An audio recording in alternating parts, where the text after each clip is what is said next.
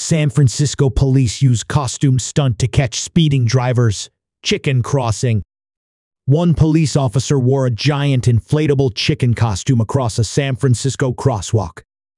The San Francisco Police Department is dressing up in inflatable chicken costumes to catch drivers speeding past crosswalks in a new stunt.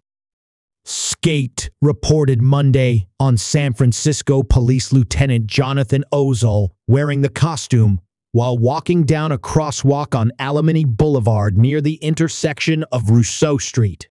The idea, Captain, Amy Hurwitz explained, is for drivers to take notice and yield to pedestrians.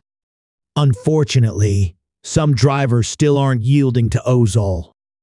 I don't want them to get run over, Hurwitz said. But the costume is so bright, it's like, how can you miss it?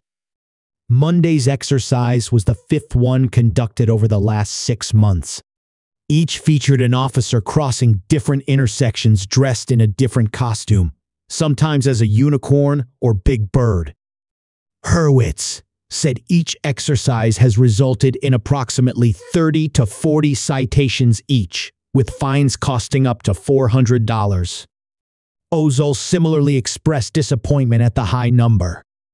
If you don't see someone in a giant chicken costume, then we really have a problem, he said. Despite this, Ozol added that drivers are appearing to become more aware as the exercise continues. The exercise has been featured in police newsletters, and in fact, after police performed the exercise at the same crosswalk previously, someone with a sense of humor put up a chicken crossing sign nearby, SFGate reported. It's having an impact, Ozol said. Drivers seem more aware, more cognizant. Certainly when they see the chicken. Fox News Digital reached out to the San Francisco Police Department for a comment.